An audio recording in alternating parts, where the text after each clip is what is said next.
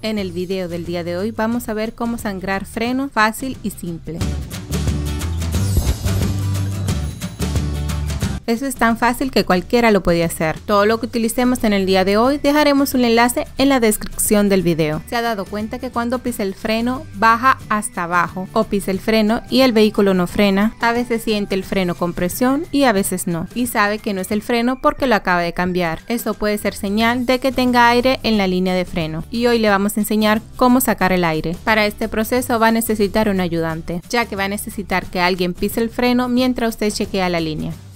Si sospecha de los frenos delantero, va a colocar la emergencia. Si no, puede utilizar los calzadores de rueda.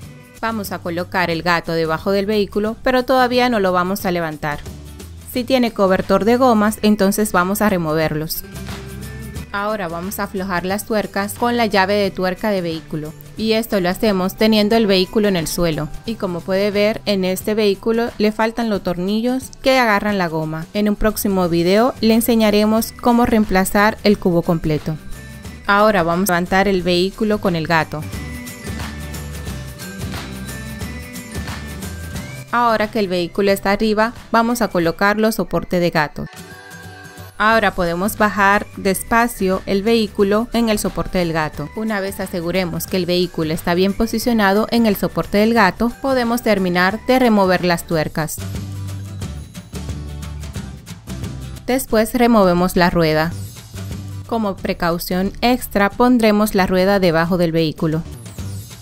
Una vez tengamos acceso a la caja de freno, vamos a anotar al lado de la línea de líquido de freno una válvula y esta puede que tenga un cobertor. Si lo tiene, lo removemos y lo guardamos. Una vez tengamos acceso a la válvula, vamos a anotar una forma hexagonal, que es donde vamos a colocar nuestra llave para abrir y cerrar la válvula. En la mayoría de los casos, para la izquierda se afloja, para la derecha se aprieta. En su caso puede ser diferente. Este sistema en particular lleva una llave número 8. La de usted puede ser diferente y puede referirse a su manual de vehículo.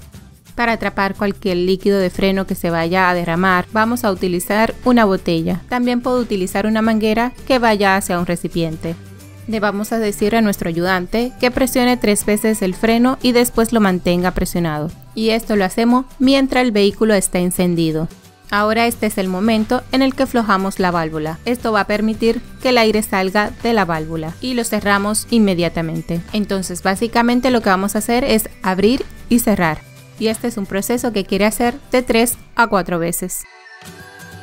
Una vez terminado, vamos a hacer la próxima goma y repetimos el proceso. Si todavía siente aire en los frenos, puedes repetir el proceso nuevamente, como también se lo puede hacer a los cuatro frenos. Otra técnica que puede utilizar es hacer que su ayudante presione los frenos varias veces. Puede ir alrededor del vehículo escuchando cada goma y a veces se puede escuchar el aire en la goma individual y así evitamos tener que hacer las cuatro. Una vez abra y cierre la válvula y nota que no sale aire, quiere decir que ha terminado Ahora se puede dar una palmada en la espalda por un trabajo bien hecho. Si le gustó el video no se olvide de darnos like. Si tiene alguna pregunta por favor déjenla en los comentarios que en el equipo de Box o alguien en la comunidad de YouTube puede ayudar con una respuesta. No se olvide de suscribirse, síganlo en los medios sociales. Gracias por vernos. Aquí está un enlace a nuestro último video.